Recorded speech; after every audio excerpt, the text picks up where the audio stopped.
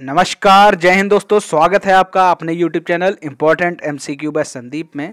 तो दोस्तों, जैसा कि आप जानते हैं, हम लोग डेली थर्ड सेमेस्टर की तैयारी कर रहे हैं और इसी के अंतर्गत आज हम मैथ का मॉडल पेपर नंबर सिक्सटीन लेकर आए इससे पहले हम पंद्रह मॉडल पेपर आपको दे चुके हैं मैथ के। अगर आपने वो वीडियोस नहीं देखे मॉडल पेपर के तो नीचे डिस्क्रिप्शन में लिंक मिल जाएगा, आप वहाँ से जाकर उन वीडियो को ज़रूर देखिए, ताकि मैथ्स की सारी प्रॉब्लम आपकी सॉल्व हो जाएँ और आपके ज़्यादा से ज़्यादा नंबर आ सकें। हमारा जो टारगेट है वो 25 में 25 नंबर लाने का, कि कोई भी टॉपिक आपसे अछूता ना रहे, ऐसा कोई भी टॉपिक ना बचे जो आपको आता ना हो। तो एक एक टॉपिक आपको आता हो और उससे संबंधित सभी प्रश्न भी आपको आते हों। तो दोस्तों, इसी कड़ी में आज हम पढ़ेंगे मैथ का मॉडल पेपर नंबर 16 यहाँ पर मैथ का मॉडल पेपर नंबर 16 शुरू करने से पहले हम आपको पिछले मॉडल पेपर 15 मॉडल पेपर 15 का जो विशेष प्रश्न था, उसका उत्तर बताना चाहेंगे। पिछले मॉडल पेपर का जो विशेष प्रश्न था, बड़ी फर्म व व्यापारियों द्वारा खोले गए खाते हैं। बड़ी फर्म और व्यापारियों द्वारा कौन से खाते खोले जाते हैं? तो वो है आपका चालू खाता। चालू खाता इसलिए बड़ी फर्म और व्यापारी खोलते क्योंकि इसमें कोई लिमिटेशन नहीं होती है। आप जितना मर्ज़ी चाहें उतना पैसा डाल सकते हैं, जितनी बार चाहें उतनी बार डाल सकते हैं, निकाल सकते हैं। ठीक है? इसमें कोई भी लिमिट नहीं होती है, इसलिए जो बड़ी फर्म और व्यापारी होते हैं, वो चालू खाता का इस्तेमाल करते हैं। तो चलिए दोस्तों, शुरू करते हैं आज का मैथ का मॉडल पेपर नंबर 16 अगर आपने अभी तक चैनल को सब्सक्राइब नहीं किया तो चैनल को ज़रूर सब्सक्राइब कर लीजिए, क्योंकि ऐसे ही मॉडल पेपर मैं अपलोड कर रहा हूँ। अगर आपने चैनल सब्सक्राइब नहीं किया और घंटे का निशान नहीं दबाया तो नए वीडियोस का नोटिफिकेशन आपके पास नहीं आ पाएगा। तो चलिए शुरू करते हैं आज का वीडियो यहाँ पर जो पहला प्रश्न है बैंक सर्वाधिक ब्याज देता है, बचत खाते पर, आवर्ती जमा खाते पर, चालू खाते पर या फिर स्थायी जमा खाते पर। तो यहाँ पर आप थोड़ा सा भी दिमाग अगर लगाएँगे तो आपको इसका उत्तर मिल जाएगा। यहाँ पर जो बचत खाता है, उस पर ब्याज मिलता है, लेकिन सबसे कम ब्याज मिलता है। चालू खाता पर बिल्कुल भी नहीं मिलता, आवर्ती जमा खाते पर भी ब्याज मिलता है, बचत खाते से अधिक ब्याज मिलता है। लेकिन जो स्थायी जमा खाता होता है, यानी जो फिक्स्ड डिपॉजिट होता है, यानी एफडी एफडी पर सबसे ज़्यादा ब्याज मिलता है। तो यहाँ पर जो सही उत्तर होगा ऑप्शन नंबर डी। अगला है समुच्चय की अवधारणा सर्वप्रथम किस गणितज्ञ ने दी? इसका सीधा उत्तर आपको अगर आता तो नीचे कमेंट में बताएँ। देखिए, जितने भी बहुविकल्पी प्रश्न हैं, इन सभी के उत्तर भी आप हमें नीचे कमेंट में बताया करिए। हमारे उत्तर बताने से पहले ही आप इसका उत्तर नीचे कमेंट कर दिया दीजिए अगर आपको आता है। क्योंकि मैं तो थोड़ा पढ़ने में टाइम लगाता हूँ, थोड़ा बताने में टाइम लगाता हूँ, फिर बाद में इसका उत्तर बताता हूँ। इसलिए आप, अगर आता है आपको तो इसका सीधा उत्तर आप हमें नीचे कमेंट में बताएँ। समुच्चय की अवधारणा सर्वप्रथम किस गणितज्ञ ने दी? तो इसका जो सही उत्तर है, जॉर्ज कैंटर ने। अगला प्रश्न है, किसान विकास पत्र में लगाई गई राशि दो गुनी होती है। क्या सही उत्तर है? नीचे कमेंट में जल्दी से बता दीजिए। किसान विकास पत्र में लगाई गई राशि दो गुनी कब होती है? ऐसा होता है कि आपके पास, मान चलिए, दस हज़ार की धनराशि है तो आप दस हज़ार की धनराशि से किसान विकास पत्र खरीद सकते हैं। डाकघर में आप जाइए, वहाँ बात कीजिए कि मुझे किसान विकास पत्र खरीदना है। आपसे वो पैसे लेंगे और आपको किसान विकास पत्र दे देंगे। तो वो किसान विकास पत्र में जो राशि लगाई जाती है, जितने का आपने किसान विकास पत्र खरीदा है, वो कितने कितने वर्षों में दोगुना हो जाता है? दस वर्षों में दोगुना हो जाता है। अगला प्रश्न है प्रश्न संख्या चार। कमरे के फर्श का क्षेत्रफल 48 मीटर स्क्वायर है। इसकी ऊंचाई दो मीटर है। तो कमरे का आयतन आप बताइए। नीचे कमेंट में बताइए अगर इसका उत्तर आपको आता है। कमरे का फर्श का क्षेत्रफल। तो फर्श का क्षेत्रफल क्या होगा? लंबाई गुड़े चौड़ाई होगा इसका क्षेत्रफल। और कमरे की फर्श का आयतन वो कितना होगा? तो कमरे की फर्श का आयतन होगा लंबाई गुड़े चौड़ाई गुड़े ऊंचाई। ये इसका आयतन हो गया। तो आप ये देखिए कि जो क्षेत्रफल है, वो है लंबाई गुड़े चौड़ाई। तो लंबाई गुड़े चौड़ाई का आपको पहले से ही दे रखा है कि ये 48 मीटर स्क्वायर है। लास्ट में आपको ऊंचाई अलग से दे रखी है कि दो मीटर है। तो आप आयतन आसानी से निकाल सकते हैं। लंबाई गुड़े चौड़ाई पहले से ही दे रखी है, अड़तालीस। और ऊंचाई आपको अलग से दे रखी है दो। तो अड़तालीस गुड़े दो आप कर लेंगे तो आ जाएगा छियानवे। अब यहाँ पर आप देख सकते हैं, ऑप्शन में दो जगह छियानवे छियानवे दिया हुआ है। एक जगह लिखा है छियानवे मीटर स्क्वायर, एक जगह लिखा है छियानवे मीटर क्यूब। तो आपको मालूम है जो आयतन होता है, वो हमेशा मीटर क्यूब में होता है। क्या कहते हैं उसको? या तो मीटर क्यूब कह लें, या फिर इसको कह सकते हैं हम लोग घन मीटर। ठीक है? ये दोनों सही हैं। घन मीटर कह लें, या फिर हम कहते हैं कि मीटर क्यूब। तो यहाँ पर जो मीटर क्यूब है, छियानवे मीटर क्यूब, इसका सही उत्तर है। अगला प्रश्न है, माध्य का सूत्र, यानी समांतर माध्य का सूत्र पूछ रहा है। तो समांतर माध्य का सूत्र आपको मालूम है, sigma F X upon sigma F. तो ऑप्शन नंबर सी, इसका सही उत्तर होगा। उम्मीद करता हूँ ये पाँचों प्रश्नों के उत्तर आपने नीचे कमेंट में बताए होंगे, अगर आपको आता है। बढ़ते हैं अगले प्रश्न की तरफ़, अति लघु उत्तरीय प्रश्न। एक नंबर में ये भी आते हैं, दस की पावर माइनस दो का गुणात्मक प्रतिलोम लिखो। गुणात्मक प्रतिलोम आपको मालूम है, जैसे हमें ए का गुणात्मक प्रतिलोम लिखना है तो हम इसको लिख देते हैं, एक बटे ए ठीक है? जैसे हमें ए अपॉन बी का गुणात्मक प्रतिलोम लिखना है तो हम क्या करते हैं? नीचे का ऊपर और ऊपर का नीचे तो ये हो जाता है बी बटे ए इसी तरह यहाँ पर लिखा है, दस की पावर माइनस दो का गुणात्मक प्रतिलोम लिखो। तो ये आप देख सकते हैं कि दस की पावर दो का गुणात्मक प्रतिलोम क्या होगा? ये आपका एक बटे दस की पावर माइनस दो आ गया। ठीक है? ये आपका आ गया एक बटे दस की पावर दो। अब थोड़ा जो पावर दो जो माइनस में लगा हुआ है, ये कुछ अच्छा नहीं लग रहा है, ये नकारात्मक सा लग रहा है। तो हमें इसको प्लस में करना पड़ेगा। ये प्लस में कैसे होगा? आपको मालूम है, प्लस में करने के लिए हमें क्या करना पड़ता है? ऊपर का नीचे और नीचे का ऊपर। तो वही हमने क्या किया है? एक को हमने नीचे कर दिया, दस को ऊपर कर दिया, और जो आपकी पावर में माइनस थी, वो पावर प्लस में हो गई। यही हम जब ऊपर होता है पावर माइनस में तब भी हम यही करते हैं, ऊपर का नीचे कर देते हैं और नीचे का ऊपर। अगर हम ये लिख दें कि दस की पावर माइनस दो, इसको प्लस में करो। दस की पावर माइनस दो को अगर हम प्लस में करने को कह दें तो हम क्या करते हैं? इसको नीचे ले आते हैं और प्लस दो कर देते हैं। यही कंडीशन अगर यहाँ दस की पावर माइनस दो नीचे है तो हम क्या करेंगे? दस की पावर दो को ऊपर कर देंगे और वो प्लस में हो जाएगा, जो मैंने यहाँ पर किया हुआ। आप देख सकते हैं, एक बटे दस की पावर माइनस दो है, इसको हमें प्लस में करना है। तो दस की पावर दो हमने कर दिया, ये आपका प्लस में हो गया, दस की पावर दो होता है सौ।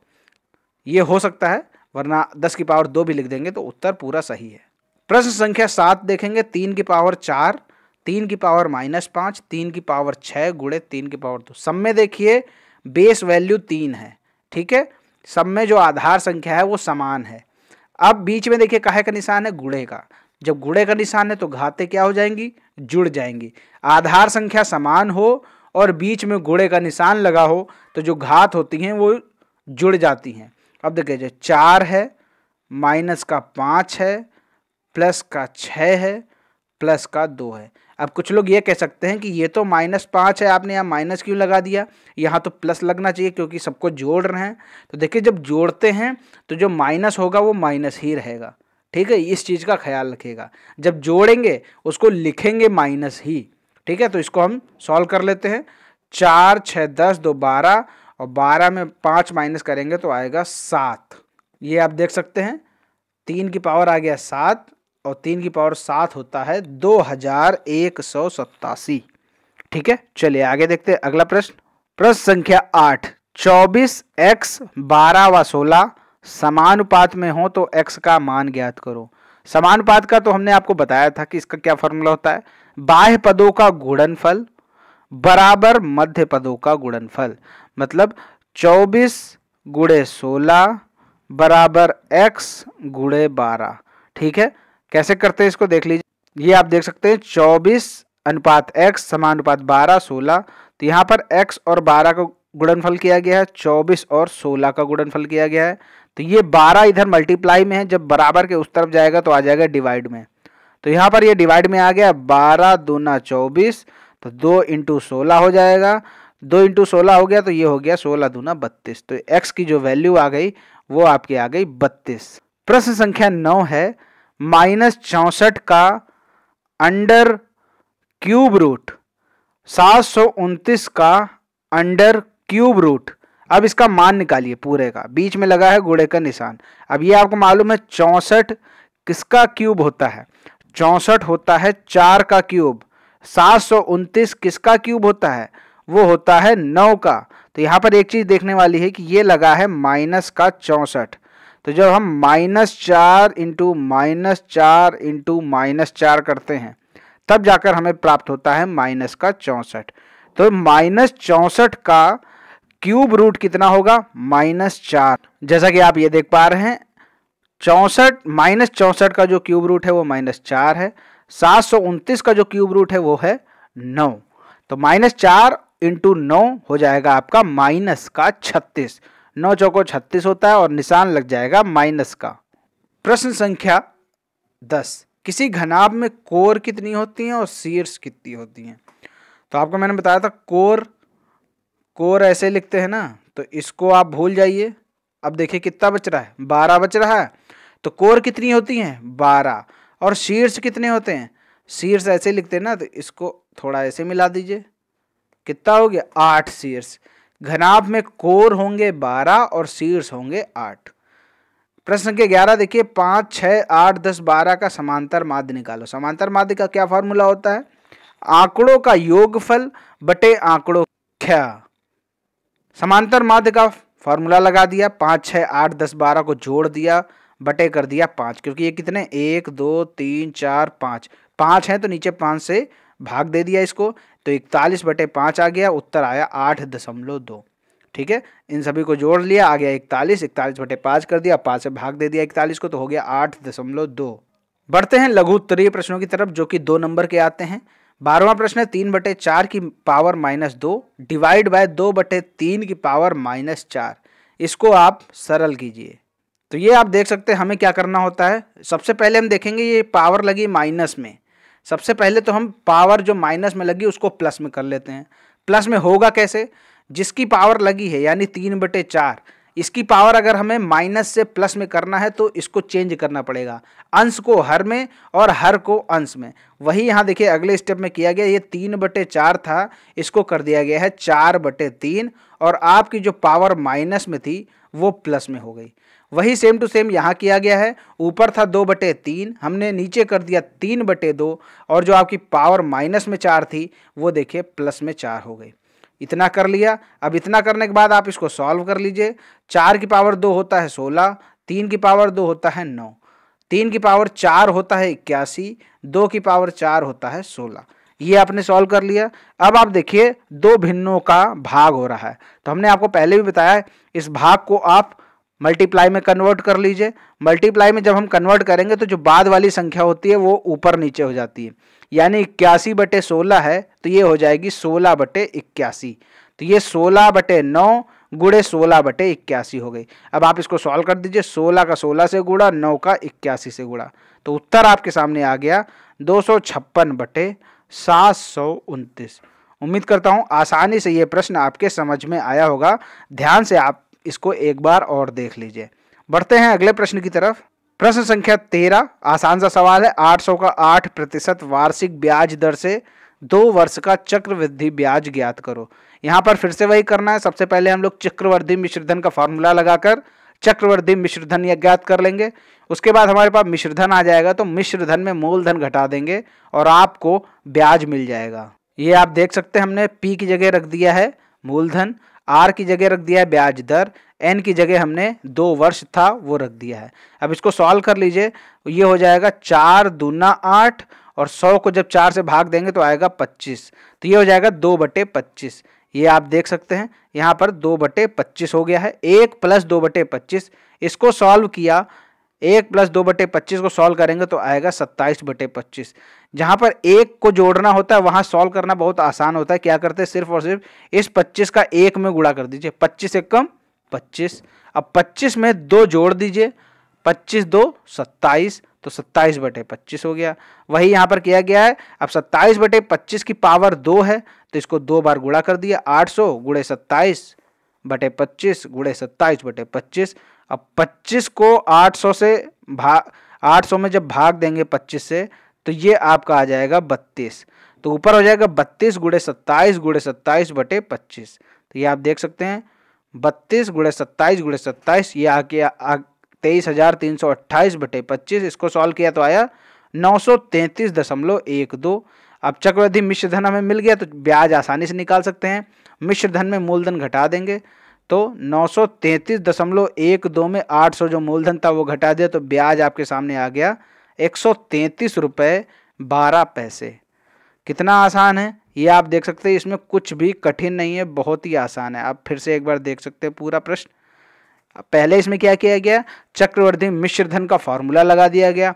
उसके बाद मिश्र धन हमारे पास निकल के सामने आ गया। फिर हमने क्या किया? उसके बाद हमने मिश्र धन में मूलधन घटा दिया।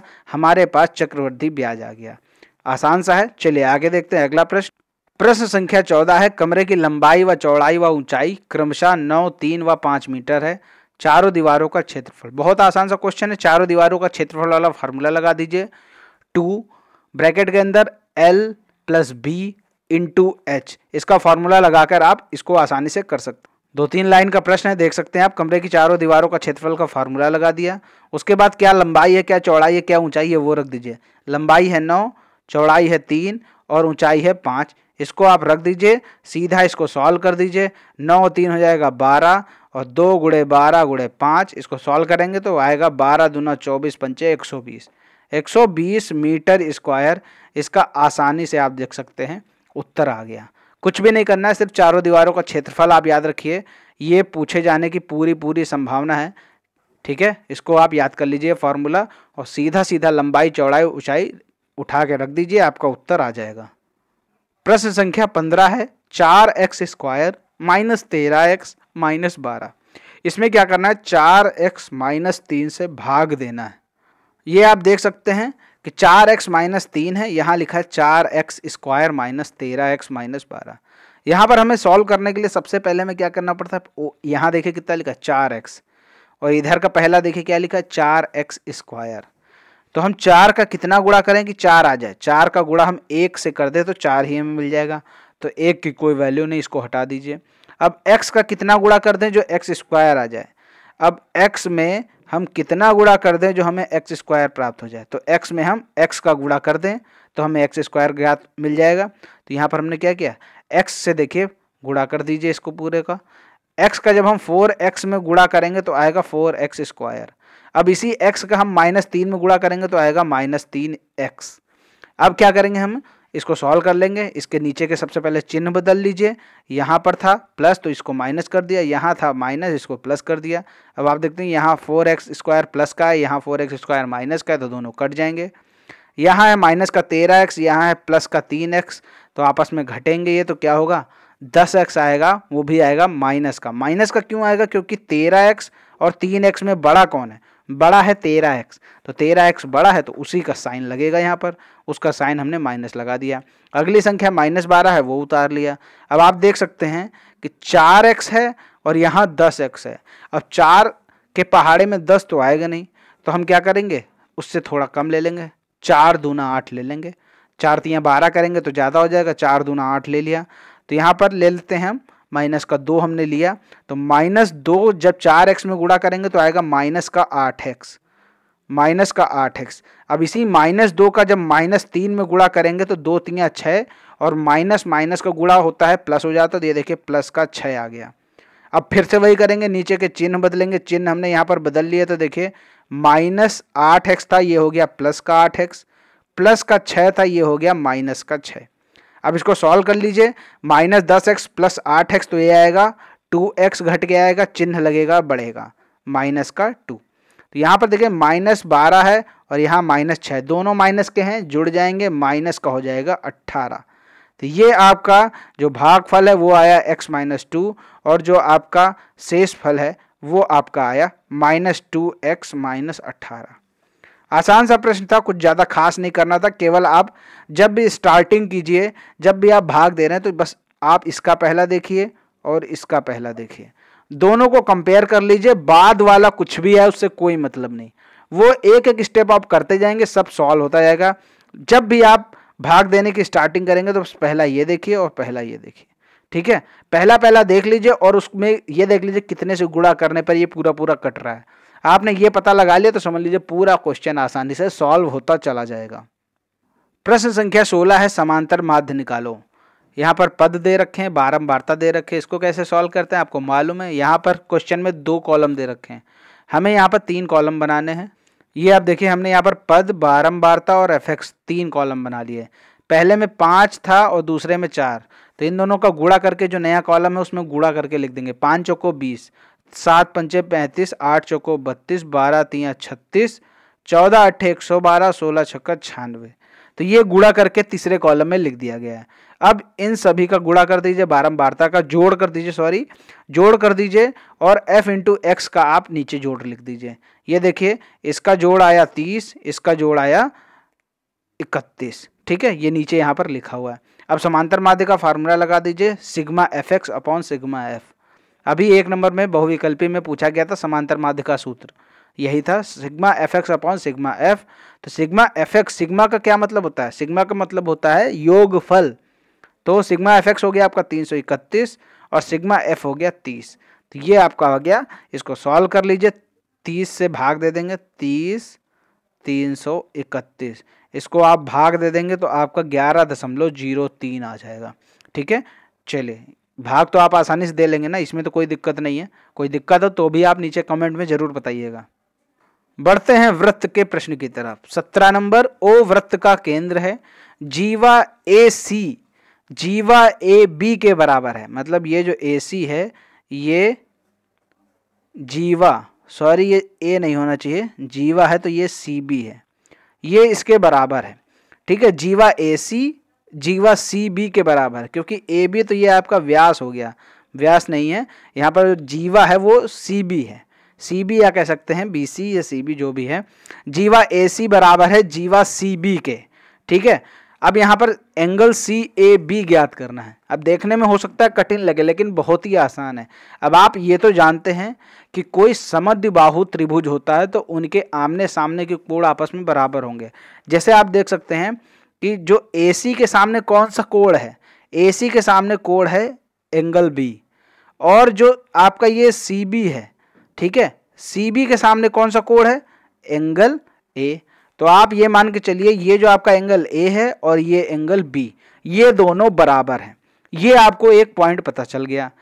और यहाँ पर आप देख सकते हैं कि ये जो है, ये जो व्यास है ए बी ये वृत्त को दो बराबर हिस्सों में बांट रही मतलब आधा वृत्त ऊपर हो गया और आधा वृत्त नीचे हो गया।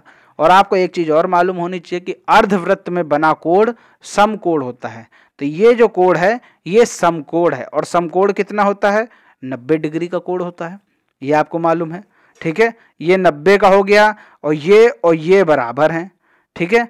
अगर हम एंगल ए को एक्स मान लें, एंगल ए को एक्स मान लें तो एंगल बी भी कितना होगा? एक्स होगा क्योंकि दोनों बराबर हैं। और एंगल सी, हमें पता है कि नब्बे है। ठीक है? अब यहाँ पर हमें क्या करना है? आपको यह भी मालूम है कि तीनों कोणों का योग कितना होता है? 180 होता है। तो इन तीनों को जोड़ दिया तो 180 आ जाएगा। क्योंकि त्रिभुज के अंता कोणों का योग 180 होता है। एक एंगल है 90 क्योंकि ये अर्धवृत्त पर बना हुआ कोण है तो ये 90 हो गया। अब एंगल ए और एंगल बी दोनों बराबर हैं। अगर हम एंगल ए को एक्स मान लें तो एंगल बी भी एक्स होगा, क्योंकि दोनों बराबर हैं, क्योंकि ऐसा होता है ना कि ये जो, ये दोनों भुजा बराबर हैं, ये भी बताया गया जीवा ए सी जो है, वो जीवा सी बी के बराबर है। तो जीवा दोनों बराबर है तो इनके सामने वाले कोड भी बराबर होंगे, सीधी सी बात है। अगर ये वृत्त के अंदर ना भी होता, मान चलिए कोई अलग त्रिभुज होता और इसकी दो भुजाएँ बराबर होती तो इसके सामने वाले ये कोड और इसके सामने वाला ये कोड ये दोनों बराबर होते हैं। ठीक है? अगर दो भुजा बराबर हैं तो उनके दोनों के सामने वाले कोड भी आपस में बराबर होते हैं। तो वही यहाँ पर किया गया है। जो ये आपका ए है, वही आपका बी होगा तो दोनों को हमने एक्स रख दिया। एक्स एक्स हो जाएगा टू एक्स और ये जो नब्बे है, ये बराबर के उस तरफ़ चला जाएगा। तो इधर आपका प्लस में है, उधर चला जाएगा, हो जाएगा माइनस में। तो 180 माइनस नब्बे तो ये आ जाएगा 2x बराबर 90 क्योंकि 180 में जब 90 घटाएँगे तो 90 आएगा। ठीक है? ये आ गया 2x बराबर 90 ठीक है? 2x बराबर 90 तो इधर 2 को उस तरफ़ ले जाएँगे। तो 2 इधर मल्टीप्लाई में है, इधर जाएगा तो हो जाएगा डिवाइड में। तो 90 बटे दो हो जाएगा, इसका उत्तर आएगा 45 जो एंगल ए होगा, वो होगा 45 ठीक है? और जब एंगल ए 45 है तो एंगल बी भी 45 होगा। ठीक है? और एंगल जो सी है, वो तो अर्धवृत्त में बना हुआ है। ये तो आपको पता ही है कि ये नब्बे है। अब तीनों को जोड़ लीजिए, देख लीजिए 180 आ रहा है कि नहीं। पैंतालीस पैंतालीस नब्बे और नब्बे और नब्बे, एक सौ अस्सी। तीनों का योग एक सौ अस्सी आ गया। तो आप देख सकते हैं, पूछा गया था angle C A B angle C A B है पैंतालीस। आसानी से समझ में आ गया होगा, कोई दिक्कत की बात नहीं है। अगला प्रश्न देखते हैं, मानक रूप में लिखो। अब आपके सामने चार प्रश्न दे रखे हैं मानक रूप में लिखने के लिए। चार हमने इसलिए लिए हैं कि आपको अच्छे से समझ में आ जाए कि मानक रूप कैसे लिखते हैं। पाँच, चार। इसको कैसे हम मानक रूप में लिखेंगे? मानक रूप में हम कैसे लिखते हैं? जो आपका जो पहला अंक होता है। पहला अंक है दो। इसी पहले अंक के बाद हमेशा दशमलव लगाते हैं। जैसे ये जो दशमलव यहाँ लगा हुआ है, इसको हम उठाकर दो के बाद रखेंगे। तो हमने देखिए यहाँ पर दो लिखा, पॉइंट लगाया, पाँच, चार लिखा। ठीक है, ये हमने लिख दिया। अब हमने दशमलव को पहुँचा दिया दो के बाद। अब हम लगाएँगे गुड़ा और दस की पावर हम कितना लगाए? सबसे मेन पॉइंट तो यहाँ पर ये है। दशमलव तो हर कोई खिसका लेगा, लेकिन यहाँ पर पावर कितनी लगाएँ? आप ये देखिए, दशमलव राइट साइड जा रहा है। मतलब दशमलव दाई ओर जा रहा है। यहाँ पर देखिए, ये दशमलव इधर था और यहाँ से उठ के ये दाई ओर गया है। कितने अंक दाई ओर गया है? दो अंक दाई ओर गया है तो पावर लग जाएगा माइनस की टू। ठीक है, जब दाई ओर दशमलव जाता है तो यहाँ पर माइनस की पावर लग जाती है। ठीक है, ये आप याद रखेगा, पावर जो होगी, वो माइनस में लगेगी, अगर दशमलव दाई ओर भागेगा। दूसरा प्रश्न करके देखते हैं, और ज़्यादा क्लियर होगा। माइनस, सॉरी, ज़ीरो पॉइंट तीन पाँच सात। इसमें कैसे करेंगे? ये जो दशमलव है, पहले अंक के बाद लगा देंगे। तो पहला अंक है तीन। तीन के बाद हमने लगा दिया तीन दशमलव पाँच सात गुड़े। अब दस की पावर हम कितनी लगाएँ? आप देखिए, ये दाई तरफ़ भाग रहा है ना दशमलव? तो जब दाई तरफ़ भागेगा तो पावर हमेशा माइनस में होगी। और कितने अंक बाद गया है दशमलव? तो ये गया है एक अंक बाद। देखिए, केवल तीन ही के बाद तो चला गया है। तो जब एक अंक के बाद गया तो माइनस का एक लगा दिया। तो तीन दशमलव पाँच सात की पावर इंटू दस की पावर माइनस वन। ये देखिए लिखा हुआ साफ़ साफ़ चलिए अगला प्रश्न करके देखते हैं तो और ज़्यादा क्लियर होगा। चार चार हज़ार एक सौ छिहत्तर दशमलव दो। इसको हमें मानक रूप में लिखना है। देखिए इसको हम कैसे लिखेंगे? वही पहले अंक के बाद लगा देंगे, चार के बाद लग जाएगा चार दशमलव एक सात छ दो। ये हमने लिख दिया। अब गुड़े दस की पावर। दस की पावर कितना लिखेंगे? आप देखिए, अभी तक बाई ओर भाग रहा था तो हम लोग दशमलव जो पावर थी वो माइनस में लगा रहे थे। अब आप ये देखिए, ये जो दशमलव है, ये यहाँ से उठ के इस तरफ़ भाग रहा मतलब लेफ़्ट साइड में जाना चाह रहा है। लेफ़्ट साइड में गया हुआ है। तो जो पावर होगी, वो प्लस में लग जाएगी। दस की पावर तीन, क्योंकि तीन अंकों के बाद ये किसका है? एक, दो, तीन। तीन अंकों के बाद खिसक गया है तो यहाँ पर दस की पावर तीन लग जाएगी वो प्लस में। अगला देखिए, चौथा जो है, सैतीस दशमलव तीन पाँच। यहाँ पर आप देखिए, हमेशा जो दशमलव होता है, वो पहले अंक के बाद लगता है। तो हमने तीन दशमलव सात तीन पाँच, ये लिख दिया गुड़े। दस की पावर कितनी करें? ये देखिए, दशमलव यहाँ था, उठ के एक अंक बाद आ गया है। एक अंक खिसका है दशमलव तो दस की पावर लगेगी एक। जब पावर जो दशमलव होता है, वो बाई ओर भागता है तो जो पावर होती है, वो प्लस में लगती है। तो यहाँ पर हमने लिख दिया, तीन दशमलव, सात तीन पाँच गुड़े दस की पावर एक। उम्मीद करता हूँ कि ये आपके अच्छे से समझ में आया होगा। ये चारों प्रश्न आपके समझ में आ गए होंगे। जितने भी अठारह प्रश्न आपको मैंने बताए, उम्मीद करता हूँ सारे प्रश्न अच्छे से आपको समझ में आ गए। कोई भी त्रुटि नहीं होनी चाहिए। अब बढ़ते हैं, जो आपके लिए विशेष प्रश्न हम लाए, हर मॉडल पेपर में नीचे हम एक विशेष प्रश्न ज़रूर पूछते हैं। ये हम इसलिए पूछते हैं कि ताकि आपको भी पता चले कि जो मैंने पिछला पढ़ाया है, आपने कुछ पढ़ा है, आपको कुछ आया कि नहीं आया। बैंक खातों के प्रकार कितने होते हैं? तीन, चार, पाँच छ क्या ऑप्शन इन चारों में सही है? नीचे हमें कमेंट में ज़रूर बताएँ। उम्मीद करता हूँ ये अठारह प्रश्न आपको समझ में आए होंगे। वीडियो अच्छा लगा होगा। वीडियो अच्छा लगा हो तो वीडियो को लाइक करें, शेयर करें और चैनल को सब्सक्राइब नहीं किया है तो चैनल को सब्सक्राइब करके घंटे का निशान ज़रूर दबा लें, ताकि आने वाले सभी वीडियोस का नोटिफिकेशन आपको सबसे पहले मिलता रहे। क्योंकि सारे सब्जेक्ट डीएलएड थर्ड सेमेस्टर से संबंधित जितने भी सब्जेक्ट हैं, सबके हम मॉडल पेपर आपको उपलब्ध करा रहे हैं और ये सारे मॉडल पेपर मोस्ट इंपॉर्टेंट है। ओके दोस्तों, उम्मीद करता हूँ पसंद आया होगा। ऐसे ही मॉडल पेपर पाने के लिए चैनल को ज़रूर सब्सक्राइब करके घंटे का निशान ज़रूर दबा लें। मिलते हैं अगले वीडियो में तब तक के लिए जय हिंद जय भारत।